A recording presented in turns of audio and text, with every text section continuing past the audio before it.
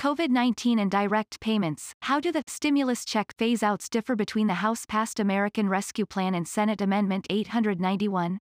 Updated March 5, 2021.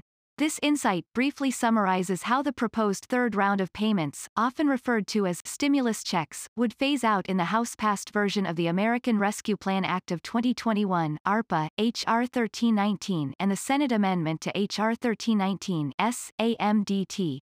891 proposed by Senator Schumer on March 4, 2021 hereinafter, Senate amendment.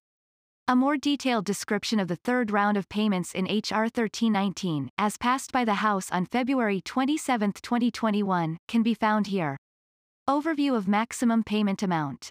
In both the House-passed version of H.R. 1319 and the Senate amendment, households would generally be issued a single payment based on their income and size. Specifically, a household's maximum payment would equal $1,400 per eligible individual $2,800 for most married couples plus an additional $1,400 for each dependent as defined for tax purposes. The definition of dependent would include older children and adult dependents. In most cases, for the purposes of these payments, a household would be all the individuals listed on an income tax return. The payments would be automatically issued to eligible households, generally based on information from 2020 or 2019 income tax returns that is, income, number of eligible individuals and dependents, and taxpayer identification numbers. If a payment issued in 2021 based on 2019 tax data would have been larger based on 2020 tax data, the IRS would be directed to issue a supplementary top-up payment within 90 days of the 2020 tax filing deadline or September 1, 2021, whichever is earlier. How would the payments phase out in the House-passed versus Senate version of the American Rescue Plan Act? In the House-passed version of H.R. 1319, the maximum payment amount would phase out over a range of income, $75,000 to $100,000 if single, $112,500 to $150,000 if single with dependents, that is, head of household, $150,000 to $200,000 for most married couples, that is, married filing jointly. The payments would be phased down proportionally or ratably in relation to income in the phase-out range. For example, if a married couple with two children had $175,000 of income, which is the midpoint of the phase-out range 50%, the payment would be reduced by 50%, and thus equal $2,800. If the same family instead had income of $187,500 75% of the phase-out range, the payment would be reduced by 75%, and thus equal $1,400. The larger the payment, all else being equal, the faster the payment would phase down by income. In the Senate amendment, the maximum payment amount would phase out over a narrower range of income, $75,000 to $80,000 if single, $112,500 to $120,000 if single with dependents, that is, head of household, $150,000 to $160,000 for most married couples, that is, married filing jointly. The Senate amendment would also use a rateable phase-out, but payments would be phased out more rapidly than under the House-passed version of the American Rescue Plan Act. Given the narrower phase-out range, certain households eligible for the payments under the House-passed version of H.R. 1319 would receive no payment under the Senate amendment. Other households with income in the phase-out range would receive a smaller payment. This is illustrated below for a single individual with no dependents, a single individual with one dependent, and a married couple with two dependents. Income for the purposes of phasing out these payments is adjusted gross income or AGI.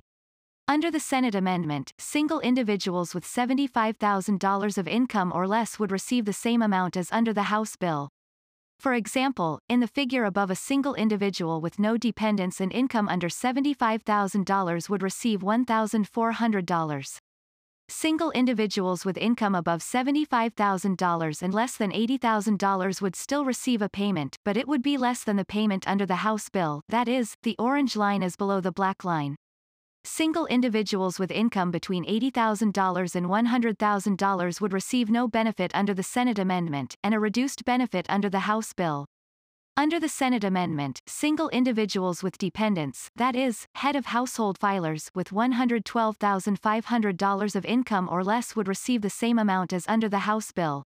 For example, in the figure above a single individual with one dependent and income under $112,500 would receive $2,800, households with income above $112,500 and less than $120,000 would still receive a payment under the Senate amendment, but it would be less than the payment under the House bill, that is, the orange line is below the black line.